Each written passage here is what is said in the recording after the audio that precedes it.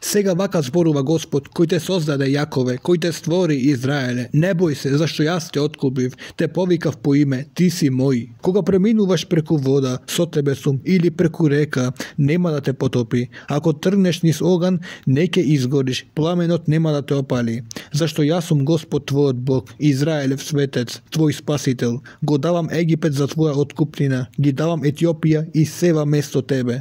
Зашто си скапоцен во моите очи, ценеци и јас те возлюбив. Затоа и давам луѓе за тебе и народи за твојот живот. Не бој се, зашто јас сум со тебе. Твоето потомство ќе го доведам од исток и ќе те соберам од запад. Ќе му речам на север, дај ми го, а на југ, не задржувај го. Доведи ми ги синовите од далеку, а моите керки од крајот на земјата. Сите кои се наречуваат со моето име и кои ги создадов за своја слава, кои ги створив и ги направив. Изведи го слепиот народ, иако има очи, и глувиот, иако има уши. Нека се соберат сите племиња и нека се приберат сите народи. Кој од нив го прорече тоа и го навести одамна. Нека доведат сведоци за да се оправдаат. Нека се чуе дека може да се рече вистина е.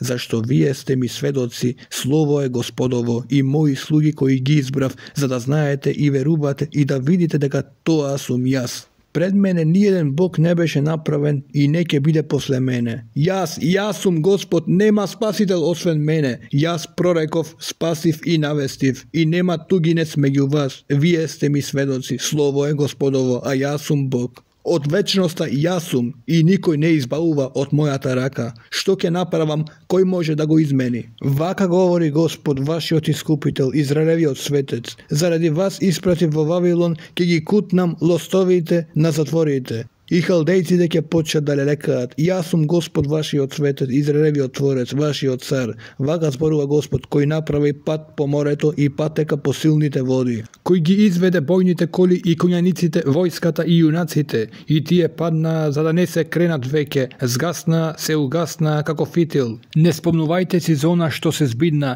не мислете зона што помина. Еве, правам нешто ново, веќе се појавува, зар не забележувате? Да, ќе направам пат во пустината пустината и патека во безводна земја.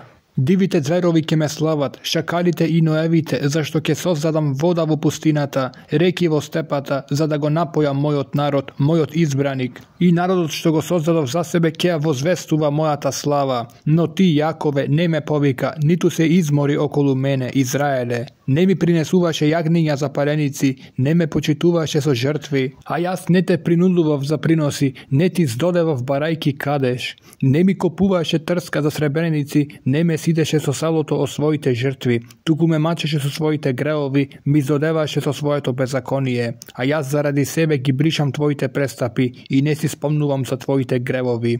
Подсети ме, за да се спориме заедно. Зборувај ми, за да се оправдаш. Прв сгреши твојот татко, твоите посредници се одметнаа од мене, твоите првенци го нечистија светилиштето, тогаш ги предадов Јаков на проклество, а Израел на подсмев.